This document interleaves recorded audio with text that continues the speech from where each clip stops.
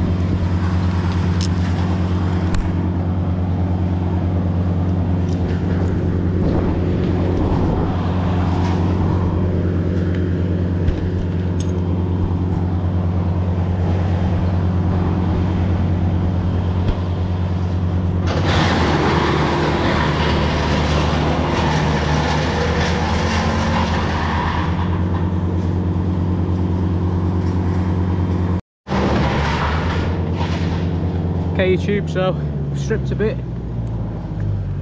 Little top left. I'm just gonna tide it off there. And we're just gonna pull it over through there.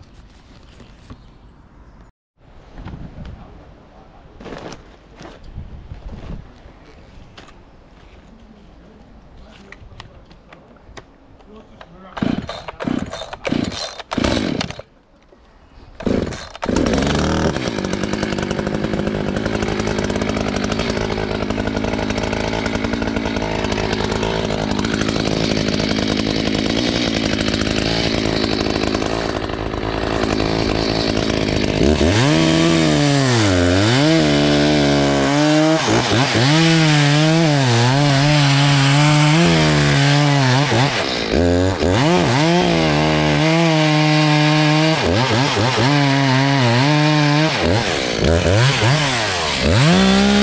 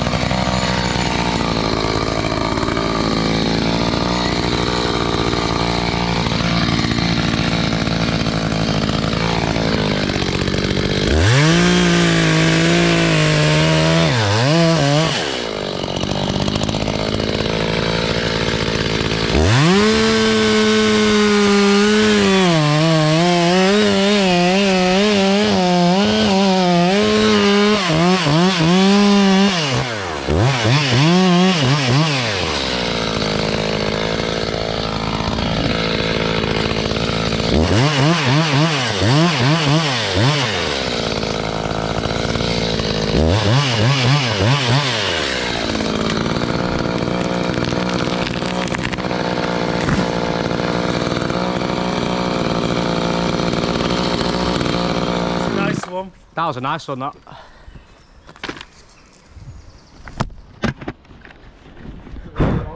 Clear the road. Yeah. Nice.